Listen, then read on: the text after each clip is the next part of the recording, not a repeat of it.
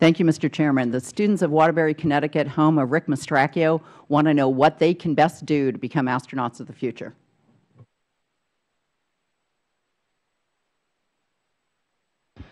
Well, of course, it always goes with study hard. Uh, you have to do well in school. That's a, that's a given.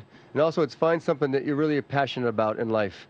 Uh, of course, it helps if it's science and technology or engineering to get this job.